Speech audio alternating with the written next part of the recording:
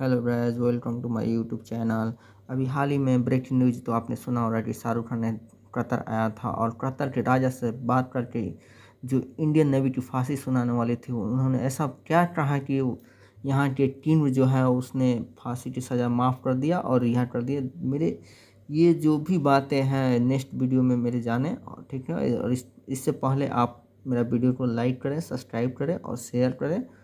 मैं next video में बताऊँ ऐसा क्या कहा?